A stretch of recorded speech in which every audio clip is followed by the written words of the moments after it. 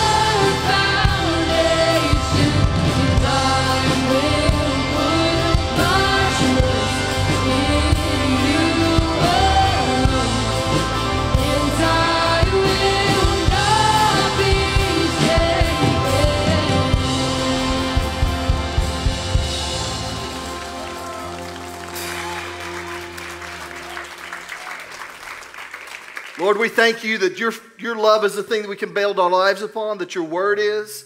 Father, in the name of Jesus, that that's unshakable. There are things that we deal with in our everyday life that we put our confidence in, that we get excited about, and if they don't turn out the way we think they should or things like that, then we, we can be shaken. But when our life is built upon the things that it needs to be built upon, then it's unshakable. And so, Father, we thank you in the name of Jesus for the goodness of God. We thank you for the word of God and for all that you've done for us. Jesus, we're yours. Let everything that we do in this moment recognize and honor you and just take into account all of who you are. Let us just let us just build our lives upon you and that from this moment on point to you and all the stuff that we do. Lord, we pray for today. I, I, I pray, Lord, for all of us. I pray for our nation, Father. I ask you in the name of Jesus that you would help the local church to rise up and to do what it's called to do, to be who it's called to be. And Father, just to just demonstrate who you are, Lord. And so we thank you for all of that. I pray, Lord, that you would use me today. Lord, help me as I share today. Just let my words just penetrate uh, any broken places, any hardened places, any wounded places. Father, help me with that in the name of Jesus. Lord, I declare that this is a story changing place, Jesus, because you're here. I call every seat full of people because people matter to you and that and you care about them. Have your way in our lives. Let the Holy Spirit do in us whatever it is that He wants to do. And Father, we just commit ourselves to you. And because you have been so good to us, we make ourselves vulnerable. We open our hearts up to allow you to correct us to lead us, to encourage us. And we say once again, we're yours. And so we love you with all of our heart. And because our confidence is in you, Jesus, we ask for all of this in your name. In Jesus' name we pray. And everybody said, Amen. Amen. Amen. Well, you may be seated. Yeah. So, aren't you glad to be in church today? Amen. Yeah. Well, I'm glad that you're here. I believe God's got something for us. And um, it's, you know, it, uh, I have an ability to state the obvious. It's one of my gifts, so I'm going to operate in my gift for a minute. It's been, a, it's been, at the very least, an interesting week in our nation. And so we're going to be talking about some things here in a little bit, just, you know, who we are, what God's called us to do. And um, I'm pretty confident that some of it's going to make us uncomfortable, quite honestly, um, because it makes me, I'm the one sharing it, and some of it I'm having to tell myself about and push through. And um, you know, so we'll, we'll, get there. Before we get to all that point where maybe you get mad at me or whatever, I want to show you a picture of what our future looks like. This is a picture of our future, and I'm excited about that. Yeah. Just telling you, man, I, I, you can just see how the walls are coming up and, and everything's around. You can see the platform there, um, uh, and then uh, just steps up to it. And I mean, it's just, it's just awesome. And I wa- I've walked in there this week a couple of times with those walls as they've come up, and man, there's just been a presence in there, just a sense. It just compels me to stay and pray and just, um, I don't know, I just, it's, uh, you, I think you get it. I mean, I've, I've, been in there a few times, and yesterday, and I walked in there just uh, for a number of reasons, just felt compelled to pray um, while I was in there for just a little bit. It's just, I'm excited. I'm excited about our future, and so it's going to be a good future. And let's clap one more time, man. We're just excited about things that are going. Well, you know, this season of our, of our, in our nation, uh, every four years it becomes pretty um, contentious and it becomes uh, even, um, you know, just there's a lot of things going on uh, in us.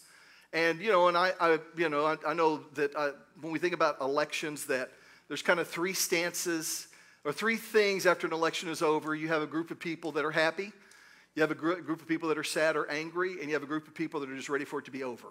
And so, um, and so I, I wish there's an element of me that wishes I could be in the third group that was just kind of like, I'm just glad this thing is over, you know. But um, just it's been one of those things, kind of the way I was raised. I'm, I'm always engaged. I'm studying, and you know, and I, and so I'm internally, and for those of you know friends that are close to me, I have very, I have very strong opinions politically. And so, um, but also I know what my calling is as a pastor, that what I'm called to do, what I'm not called to do. And so, you know, there are times, man, where I get to share things from the scripture that are just really exciting for me, and everybody's going to be like, yeah. But then there are other times we have to share things, and some people will be like, I'm so glad he's saying this. There's other people like, I hate that guy. And so this could be one of those one of those mornings. And if I was sitting out there, I might be saying that too, like I hate that guy. So, uh, but you know, God's He's got things that He tells us to do on a regular basis as to who we are as believers, as the body of Christ. And our first identity is not the color of our skin. The first identity is not our party affiliation. Our first identity is not even our earthly citizenship. Our first identity is that we're, if you're a Christian, if you're a believer, if Jesus is Lord of your life, then we're citizens of heaven and we're part of the body of Christ and we know each other as new creatures. And that's first. And so, um, you know, so, uh, and, and again, it doesn't change the fact that, you know, when my person wins, I'm, I'm like, praise God. And when my person loses, I'm like, what's wrong with people? You know, and so, um, so, you know, and I, I will guarantee you that I've hit one of those emotions for most of you already and, um, and we could kind of go home and just be in agreement and nobody would be mad at me. But um, we're going to do a little bit more than that. So, anyway, are you ready? Yeah. All right, grab hold of your Bibles and say this with me. Say, This is my Bible. I have what it says I have. I can do what it says I can do. I declare this morning my mind is alert, my heart is receptive. I'll be taught the Word of God and I'll never be the same again. Open up your Bibles, if you would, to the book of Ezekiel. If you're still learning your way around the Bible, know that it's divided into two categories uh, the Old Testament and the New Testament. The Old Testament is, bef- is before the birth of Jesus and starts with Genesis. The New Testament is from the birth of Jesus on and starts with Matthew and Ezekiel's in the Old Testament. Ezekiel 22 is where we're going. Ezekiel is right before Daniel. That helps you out, right? You knew exactly where Daniel was. Like, oh, it's before Daniel. I know exactly where to get there. So um, it's right before Daniel. It's a few books after Psalms. And so Ezekiel 22. Now, Ezekiel was a prophet, and God would speak to him regarding the nation of Israel. And so this was one of the things that he was sharing with them. He was telling them this. It was kind of a prophetic thing. And so in Ezekiel 22, verse 23, um, he says, he says, again, a message came to me from the Lord. Son of man, uh, give the people of Israel this message. In the days of my indignation, you'll be like a polluted land, a land without rain. Your princes plot conspiracies just as lions stalk their prey. They devour innocent people, seizing treasures and extorting wealth.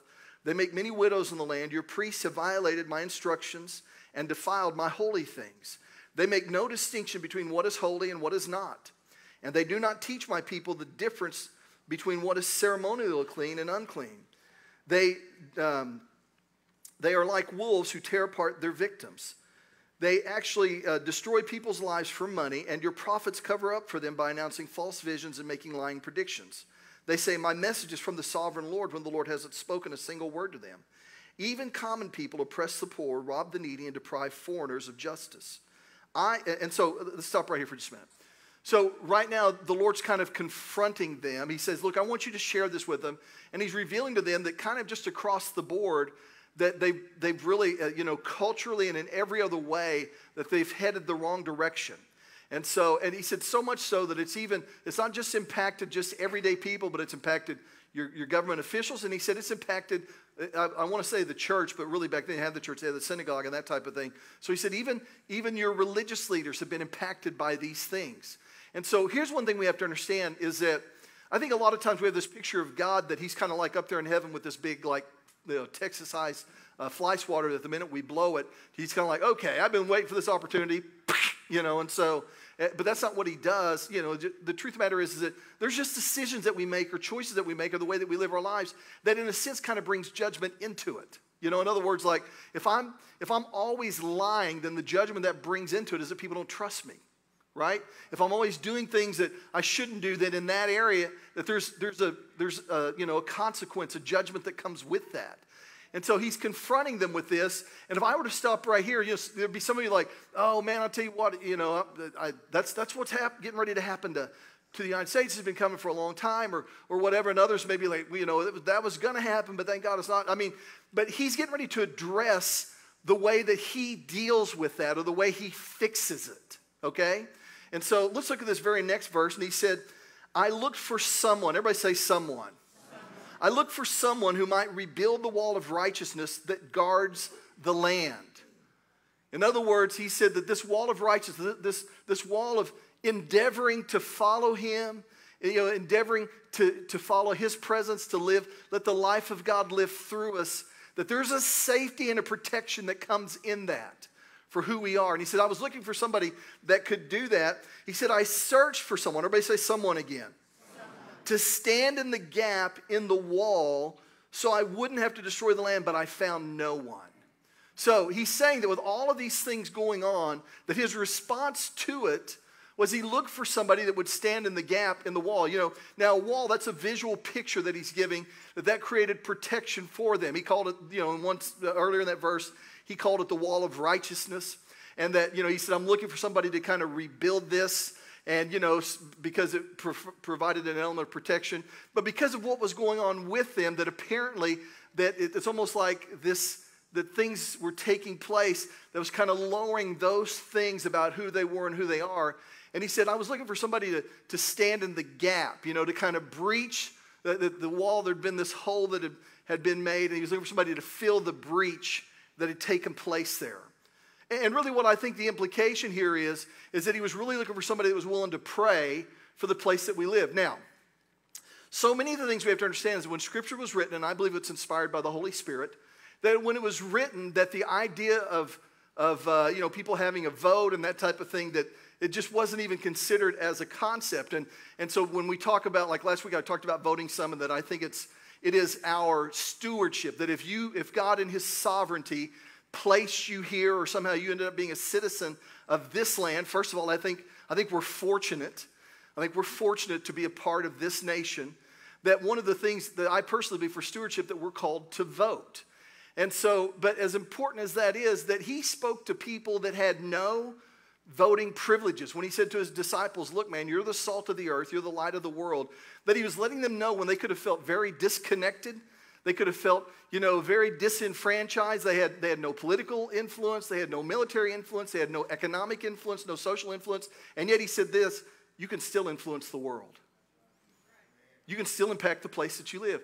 Yeah, we don't even get to vote. I know. And so right here, he said, look, he said, look, these things are getting ready to happen to the place that they were at. And he said, I'm just looking for somebody that will stand in the gap, that, that, that will cover the breach. I'm looking for somebody that will intercede, that will, that on behalf of the people around them, the people that agree with them and the people that don't agree with them. I'm looking for somebody that will pray and, and just begin to lift up, you know, the place that they live. And he said, when that happens, it will begin to have an impact and to have an effect. And I, I know that in times like this, in seasons like this, again, depending on which side that we're on, I mean, or where we're at as a result of the election, that sometimes, you know, that if, if your person didn't win, that there can be this sense of hopelessness and this sense of disconnect or even anger and, and that type of thing. So the first point here is that I want us to see is that God is looking for a person who will pray for their country. I mean, it's easy, it's, easy to, it's easy to celebrate when things go well. It's easy to get angry when they don't go our way. It's easy to, you know, to be angry at one another when the other person doesn't see things the way that, that I see them or the way that you see them. It's easy to be angry at me if I don't see it the way you see it. But the greatest thing that we can do as Christians is to live out the life that Jesus has given us to those in front of us and to pray for our nation and to pray, you know, uh, just that's what we're called to do. That you and I as Christians are called to do that. So, number one is this is that God is looking for a person who will pray for their country. Go with me if you would to 1 Timothy chapter 2. 1 Timothy's in the New Testament. And so um, uh, just to kind of get you there, you'll go past Matthew, Mark, Luke, and John, and Acts, and Romans, and 1st and 2nd Corinthians. You go past those guys. Galatians, Ephesians, Philippians, Colossians, 1st and 2nd Thessalonians, 1st, 2nd Timothy. Now, this is a letter that Paul wrote to a young man named Timothy. Paul was an older guy by now. He'd been, you know, he was coming, you know, close to the end of his life. And some scholars think that he wrote this while he was in Ephesus. He was writing it to Timothy, mentoring him. Timothy was a young guy he was mentoring for ministry. And so he shares different things in here. And the truth of the matter is, is that probably of all the things that I share today, this is going to be the thing that challenges you the most. And you say, why is that?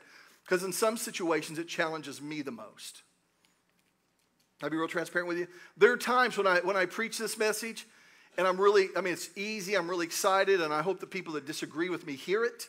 And there's other times that I preach this message, and I'm like, can I, you know, Lord, can you just lead me to talk about something else today? I just want to be led to talk about something else today. So, so I'm sure that in the hearing, that it'll be that way for some in here today. You know, you think about this, that, uh, and I, you know, I, I don't know, but um, you look at Oklahoma, and uh, you know, we we tend to vote um, uh, Republican, and so uh, you know, majority. I, I think we had over there's over 60 percent that uh, went Republican for president and 30 some percent that went Democrat for president. And so, if that's kind of the mixture of our church, then kind of based upon where things are headed at this time, that you know, there's a fair amount of people in here that you know that don't like uh, if things continue going the direction they're going, don't like the outcome. And there's another group that are like pretty happy.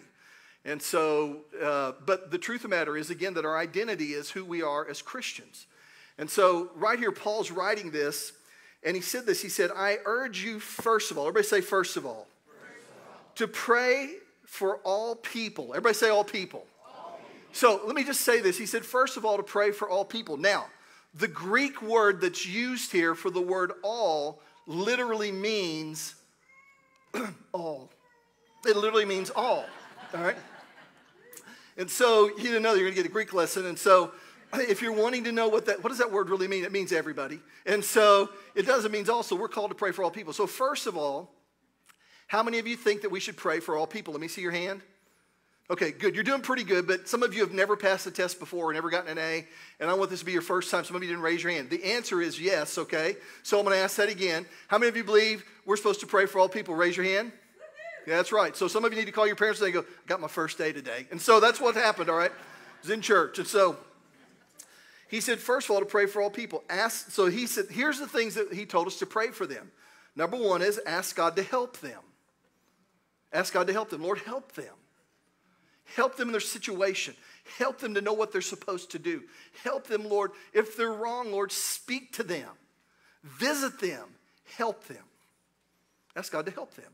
Second of all, he said this intercede on their behalf. Now, some people, we don't, that's not a word that we use on a regular basis. And we're like, what does that mean? And intercession means to appeal to God on behalf of another, to appeal to God on their behalf. In other words, they may not know they're supposed to pray. So as we think about it, we pray, we, we appeal to God on their behalf and ask Him, you know, that, that it's like, Lord, I'm coming in their place. They may not know you, they may not even believe in you, but I'm praying for them on their behalf. I appeal for them because I know you don't, you know, that I may get irritated with them sometimes, but I know that you love them, and so I'm going to appeal to you on their behalf. And then he goes on to say, and give thanks for them, and give thanks for them.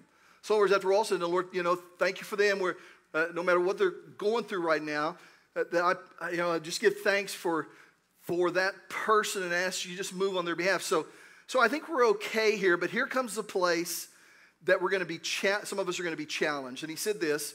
So he told us to pray this way for everybody. You know, it's a real generic thing, and we're all on board on that. And then he says, pray this way for kings and all. There's that word all. And here's the thing about it is the word that's used earlier for the word all, that means everybody, is the same word that's used here, which means everybody that's in authority. So, again, that word all in the Greek means all. And so he said, pray this way for kings and all who are in authority. Not just the ones I agree with, they're easy to pray for. But the ones that I disagree with, all. That we're to pray this way for all. Now, this message would be a lot easier in July than it is a few days after we've all voted and, you know, all those kind of things. And so I get that. And, um, you know, and, and I put the notes together several days, or I, I knew what direction I was going several days before this, before we'd even voted. And so it's one of those things where it's like, um, you know, well, like I said earlier, Lord, can you just lead me to do something else? But, um, but in this, that he's told us to pray this way. And again, pray what way? Well, pray, ask God to help them. Everybody that's in authority, ask God to help them. Intercede on their behalf. In other words, appeal to God on their behalf. Lord, visit them. Lord, put counselors around them to speak to them. Show up in their dreams, show up in their thoughts. Father, we pray for them. And so we pray. It says we intercede. We ask God, Lord, help them. We ask Him to do those things. And then here's, here's the part. And so He says also we can't be picky. It's all, it's everybody.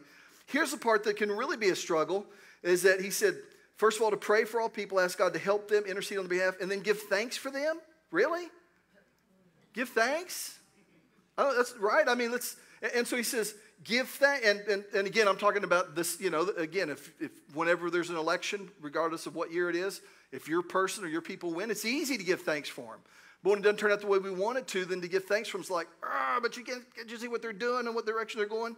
Give thanks for them. So he said, so he said, and all who are in authority, so that we can, and here's the reason why. So we can live peaceful and quiet lives marked by godliness and dignity.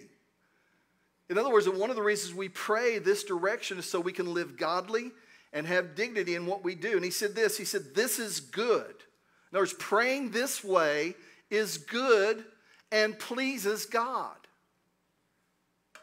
Praying this way is good and pleases God. And he goes on to say, uh, pleases God our Savior, who wants everyone, everybody say everyone, everyone, to be saved and understand the truth.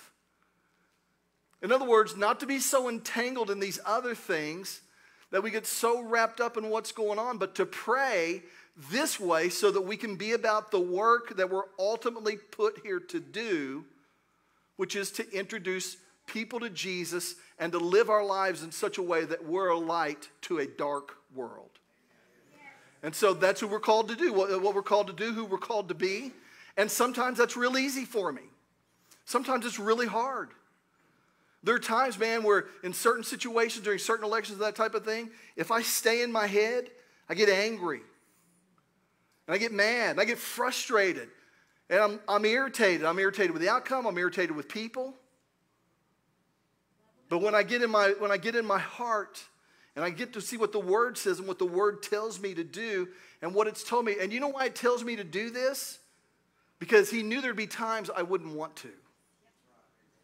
And so he's called us to do this as believers, as Christians, and that to remind us that regardless of any election, regardless of if we think that whenever we have elections that the best person ever could have ever been elected, eh, or that's the best president ever, or the worst president, regardless of that, that the truth of the matter is that every empire but one has an expiration date. And so it doesn't change the fact that I love this nation. My dad served in the military. Towards the end of World War II, he was a part of it. My uncle served in Korea. And so, you know, and I'm grateful for the military. I have family members that have been part of the military. I love this nation. I feel very fortunate that God, in His sovereignty, placed me here. But I'm a citizen of heaven. And so, if you're a believer, if you're a Jesus follower, that's our first obligation and our first responsibility. So he's called us to do that. He's called us to pray, to ask God to help them, to intercede on their behalf, and to give thanks. You know what I've discovered? That it's hard for me to give thanks and complain at the same time. Have you ever tried that? God, thank you for this horrible car. I mean, you know, how do you, you know? Lord, I'm so grateful that I'm dead broke right now and can pay a stinking bill. I mean, how, you know, you, can, you know, right? I mean, it's just, it's hard to do that. And I will tell you that because I'm, I'm not a guy that's disengaged from these moments.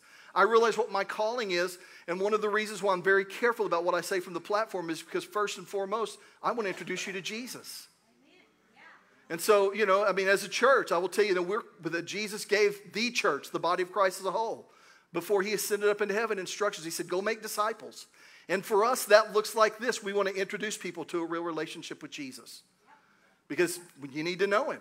Second of all, and once that happens in your life, we want to help you connect with a small group because we believe that real change takes place. We believe in relationships here. And then lastly, we want to help you discover what your gift is so that you know what to do and you can use it as a story changer here, but even beyond these walls. That those things are what disciples do. It's what that looks like as a disciplined follower of Jesus. And so these other things, they matter to me. I get passionate about them, and I'm, selective about the things, you know, what direction I go, who I vote for. I'm selective by who I share that with because I don't want to share that and somebody, because of where they're at, say, Well, I don't want to hear anything else he has to say because if I do that at the expense of telling you about Jesus, I feel like I've missed it. I'm okay if you disagree with me, I'm telling you where I'm at.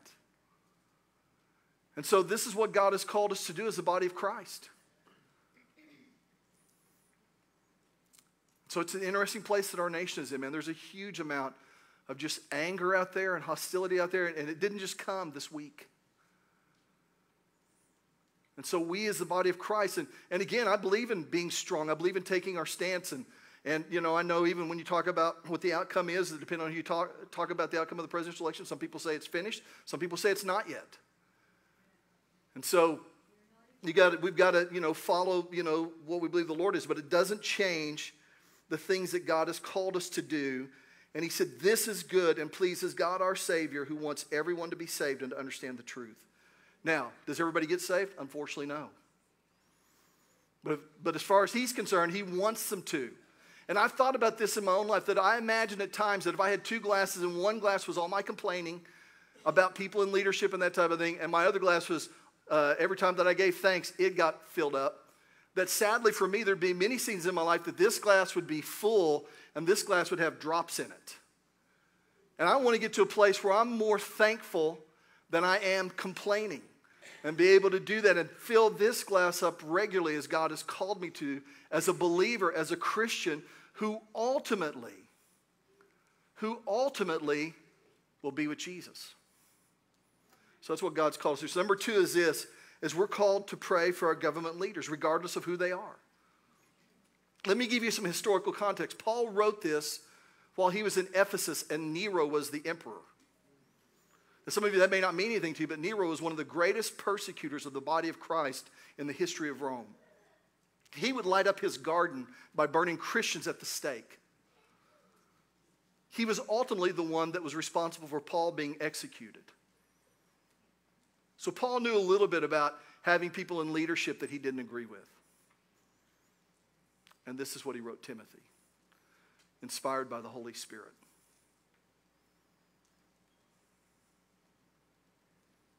We need to let that sink in for just a minute. So, again, depending on which side of the coin you fall on, this, this is easy to do right now.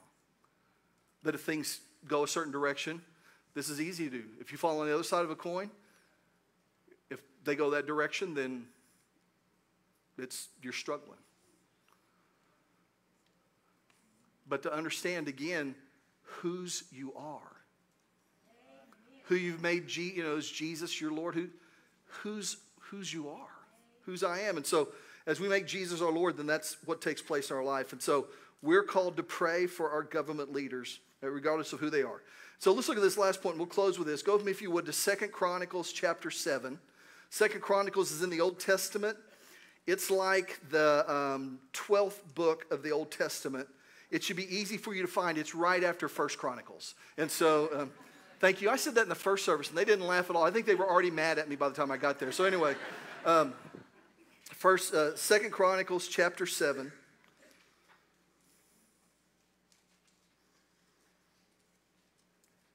Verse 11.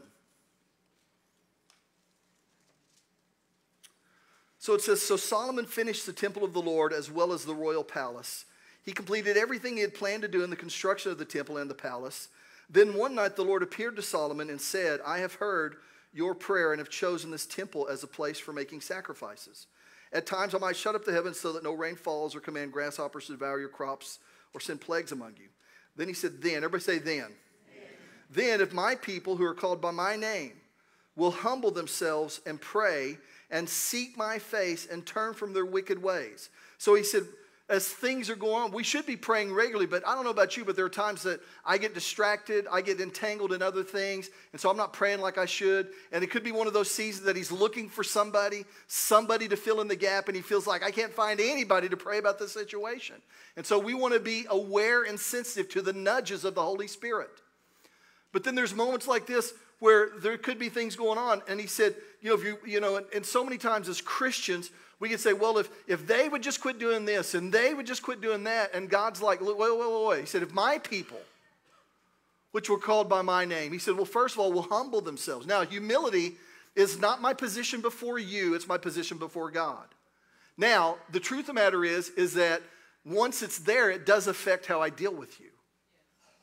And so humility starts here in a place that nobody can see but me and the Lord. Because sometimes we can look humble and it's just a matter of manipulation. But humility starts here and then it affects how I respond and what I do before you. So he said, if my people, which are called by my name, will humble themselves and pray, in other words, begin to talk to God, begin to seek Him for those things. And then it says this that not only to pray, he said, um, he said, well, humble themselves and pray and seek my face, begin to seek his face, his presence, what he wants to do, and turn. Everybody say, turn. From their wicked ways. In other words, you know, the, the people of God will examine their own lives, repent of, you know, when we repent of our sin and turn from any disobedience that we're in.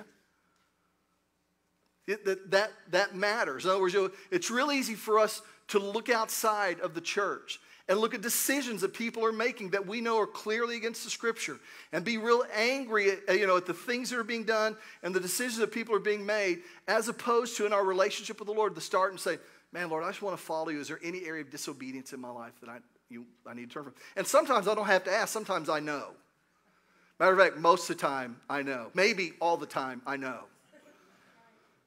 And so we turn from that. He's, he's not indifferent. You know, again, it matters to him how we live, it matters to him the decisions we make. And so part of this is repenting on our behalf, turning from, from that disobedience, from that sin back towards him. So he says this. He said, uh, and seek my face and turn the ways. He said, I will hear from heaven and will forgive their sins and restore, everybody say restore, restore. their land. My ears, my eyes will be open, my ears attentive to every prayer made in this place. So he was talking to him, and, and he said, and what he wanted us to know is that our prayers can change things in our nation. And I, and I mean, and the truth of the matter is, I'm saying our nation just because of, you know, that's kind of what we've been talking about. The truth of the matter is, our prayers can, it can change things in us first. As we humble ourselves, we seek his face, he begins to speak to me about things in my life. You know, things that real everyday things. When I humble myself and begin to seek Him, before I ever can talk to Him about the big things in the world, He wants to talk to me about the big things in my life. Like, hey, dude, you're not loving your wife the way that I want you to. He's spoken to me about those things. We're not in an audible voice, but just through God thoughts or conviction. Hey, man, you really need to work on this attitude that you're carrying. He's dealt with me about that. I've shared with you before that sometimes, especially in the early years of our marriage, I say the early, like the, the early 80, first 80% of our marriage, that whenever I would pray, anyway, so uh, now my mind begins to roll. So uh, I could just do this for a while. So here's the thing: is that you know I'd, I'm, i would pray and it'd be like I'd start out with, "Lord, yeah, can you believe that she did that, that kind of thing?" And, and like I said before, He never wanted to talk to me about her. He never, I never sensed that God thought that was like, oh yeah, hey man, she was really wrong. I mean, yeah, he never said that or hey, how do you put up with that? You know, I mean, it was never one of those kind of things. It was more like, how does she put up with you, dude? I mean, it's like, okay, Lord, I think you've got somebody else here. So, I mean, but he's, you know, he deals with us about those things. He speaks to us about it. You know, and, and hey, you've got this disobedience, or you know, you're, you're making a decision here, and this, you're doing this thing that I'm not okay with. It's wrong. And he speaks to me about those things, which then enables me to talk to him about other stuff. You know, and I mean, I can talk to him about that anyway, but again, because we have this relationship with him. So our prayers can change things in our lives personally, change things in our, they change things in our nation, affect the course, affect the, the direction of our country. And we, if you're a Christian, if you've made Jesus Lord of your life, then part of the great calling of God that He's given us is to pray for our nation, to pray to fill in the breach, to fill in any places that there are gaps or holes in who God's called us to be and what pleases Him as a country. I can spend all day long, and believe me, I can do it complaining, being angry. I can begin to pray and ask God to help people in positions of authority. I can begin to lift them up. I can begin to intercede, take access you know, to go in their place because they may not know to go. I've shared with you before, I was mad at somebody one time, really irritated, and I was praying for them. Oh, that's a good thing. No, it wasn't that kind of prayer. it was like, you know, just judge them. Let the fires of heaven just consume them. You know, I mean, I'll, you know, let them get hit by a dump truck. I mean, you know, those kind of things right there. And this God thought of like, I don't feel about them like you do. Just like I'm patient with you whenever you blow it, I'm being patient with them right now. Just like you want patience, you want, you want patience, you want mercy, I'm giving that to them too. I'm like, I am just going to watch TV. You know? I mean, you know, because he doesn't always agree with me when I'm praying. You know, it's just one of those things that he just, it's what he, you know, that, I mean, he, he's not looking to have, he's not, he doesn't want, he doesn't want, you know, he doesn't want to be like my heart. He wants my heart to be like his. And so our prayers can change things in our nation. They can. And, and affect the direction that we go. About you, but the problem in my life is that I spend so time, little time doing that and so much time doing these other things that don't, they don't serve any eternal purpose. Complaining, all, just all sorts of things. And, and again, I may just be speaking to myself. You may not struggle with any of this. So, if so, just thanks for being a part of my personal therapy session. So, but, but the, the truth of the matter is that this is, you know, that as the body of Christ, again, that our time is so short. You believe these are last days? Maybe. They're my last days. I don't have another life. When I say last days, I mean I mean from a biblical standpoint, you know, and that kind of thing. I'll, hopefully, I'll be here next Sunday. But here's the thing: is that just to get that, to get that, I want us to do this. I'm going to pray right now. I'm going to pray right now. And so I want us to bow our heads. I'm going to pray. And then when I'm praying, I'm going to give you just a moment to be with God and let you pray, okay? Father, right now, in the name of Jesus, we do lift up our nation. I pray, Lord, for everyone that's in authority right now, regardless of what party they're in, regardless of what affiliation, regardless, Lord, I pray for them. I lift them up and I ask that you help them. Just like you told us to, for all of them, that you would help them. Father, I intercede on their behalf. I go into your presence on behalf of them. And there are some that know you. There are some that know to talk to you. And there's some that don't. There are some that even in their stances are in opposition to you, and I pray for them too. Father, visit them, all of them. Visit them in their thoughts and in their sleep. Visit them in their conversation. If they've been wounded in the past by things that were, were intended to draw them to you, then I pray that you'd heal those wounds. If they've been hardened by those things, I pray that you'd soften those. That, Lord, nothing's too hard for you. And so I pray for them. Lord, I, I, I thank you for those in the position that has been created there and what its intent is. I not only pray for them, but I pray for those that are soon coming in, whoever they are, whatever position they hold. I ask that you help them. Father, I intercede on their behalf. I pray that, that supernaturally you would deal with them, supernaturally you'd speak to them. And for any that have hardened their heart to you, I pray, Father, supernaturally that you'd send people in their life that, again, that as you visit them in their thoughts and their sleep and their imagination and conversation, that it would begin to have an impact on their heart. Lord, thank you. Thank you for placing us in this land and giving us an opportunity that people throughout centuries have not had the opportunity, and that's to vote and to have a say. So, Father, in the name of Jesus, as a church, we lift that up. First of all, as you place us here, as you look for somebody, let us say, use me. But Lord, also, as, as we say that, we pray for that so that we can live godly lives quietly and peaceable because you want people to be saved. You want them to come to know you. Jesus, you didn't come because humanity needed another religion. You came so that we could have a relationship with you, be forgiven of our disobedience, of our sin, and have a relationship with the Father where we engage with that and become sons and daughters. And so we pray, one of the reasons we pray is for this. Let us move forward. Let us remind ourselves and the people around us that Jesus is the hope of the world. Not politics, not government systems. Jesus is. And that the church is what he chose to manifest that hope to humanity the body of Christ. And so we lift it up, Lord, help me. For any, any that are struggling today, Lord, just give direction, give just help. Help, help all of us, Father. Lord, we look to you and we just want to please you and honor you in all that we do and not lose sight of whose we are. So we commit this to you and we spend just a moment with you secretly. Where just, just you know what's taking place in that secret place in our heart as we talk to you. So just you just there secretly with the Lord, just spend a moment with him.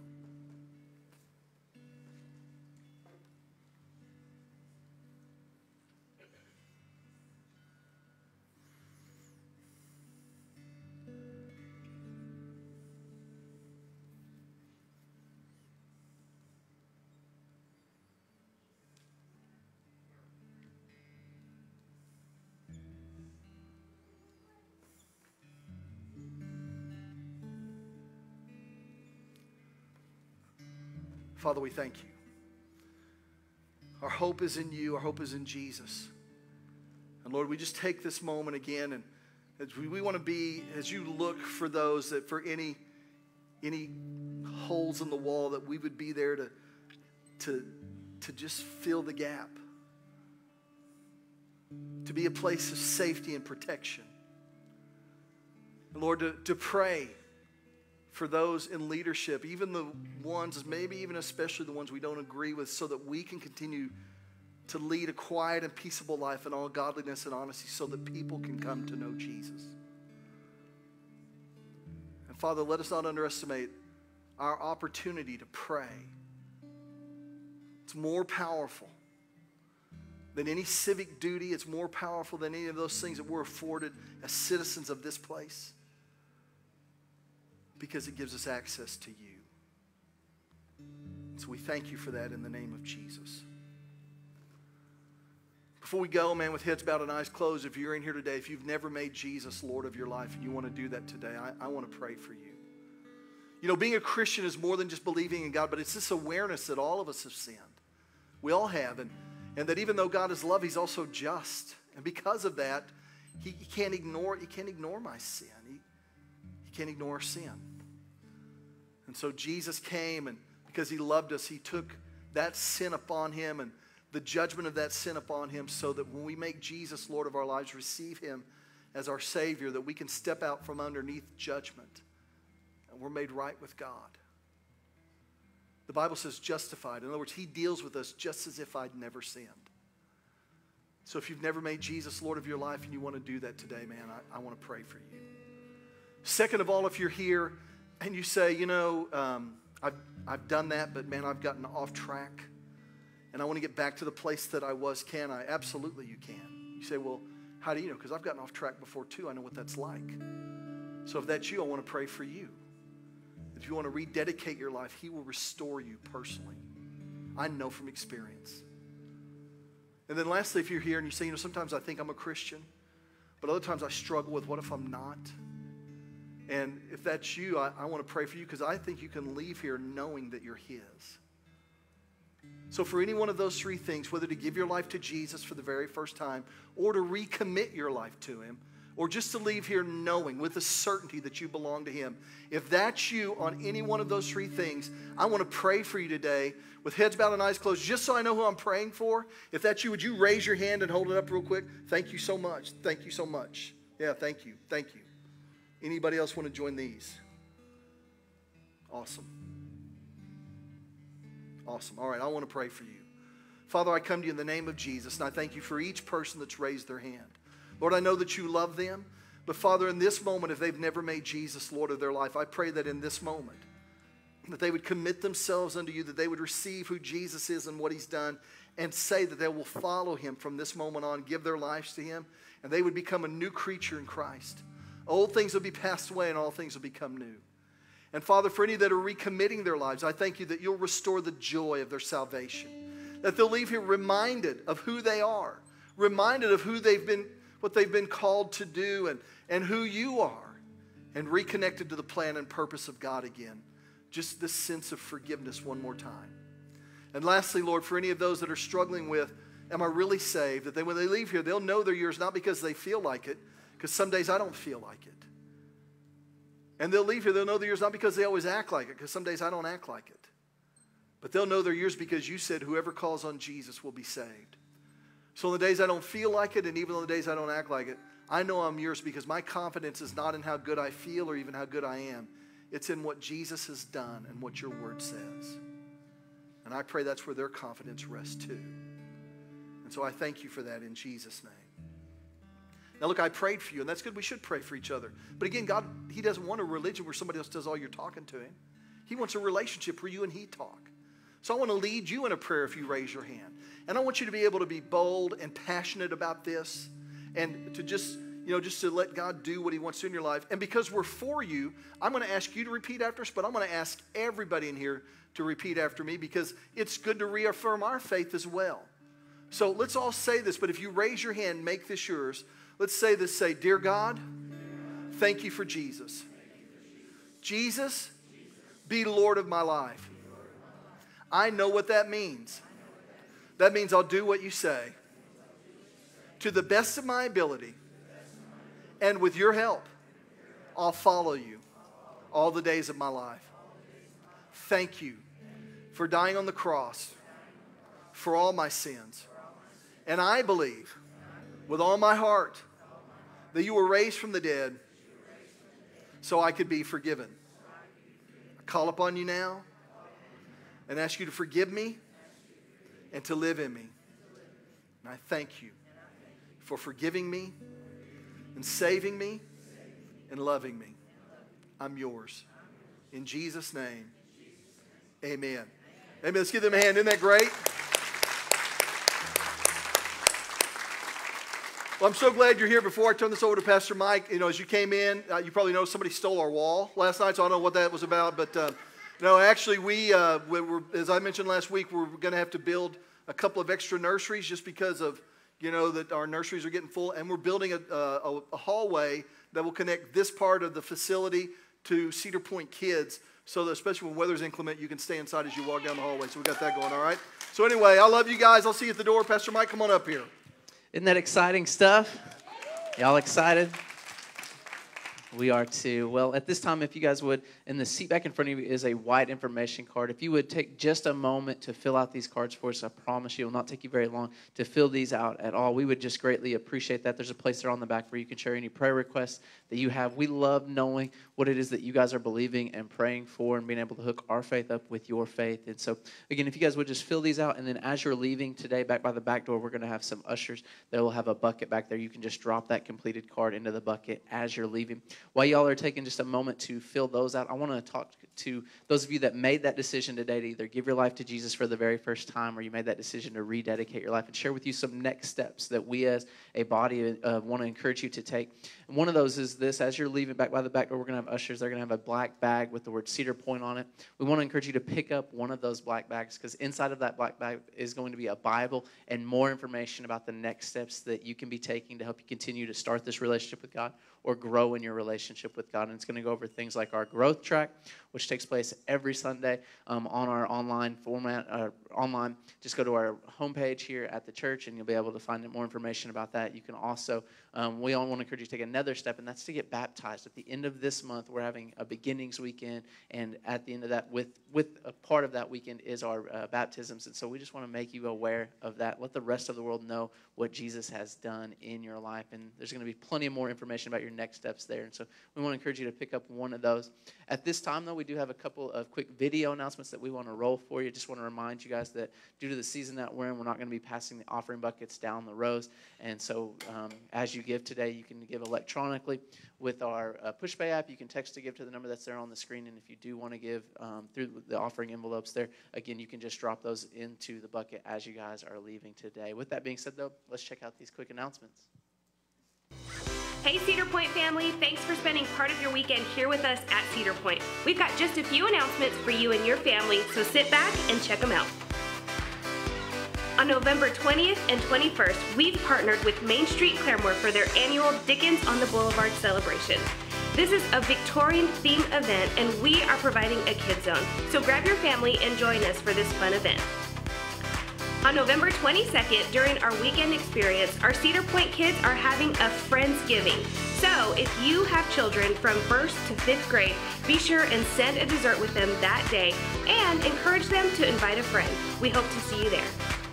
Our Cedar Point students will not be meeting on November 25th to celebrate the Thanksgiving season. Don't forget, we're going to be celebrating baptisms, baby dedications, and the Oklahoma Blood Institute will be here receiving blood donations that day. If you want to take part in any of those three things, sign up at the Info Center. Thanks again for joining us today at Cedar Point. We hope to see you right back here next week. Well, as you guys saw there, the 29th is a big day for us because we've got our beginnings weekend, but that night we're having our Advent service here. And so we just want to make you aware of that. We're going to have a traditional feel during our services, and then afterwards we're going to have some activities, pictures with Santa and Coco. And so we want to make you aware of that. The 29th is going to be a big day for us. With that being said, though, thank you all so much for being with us. You guys are dismissed. We love you all. We'll see you all next week.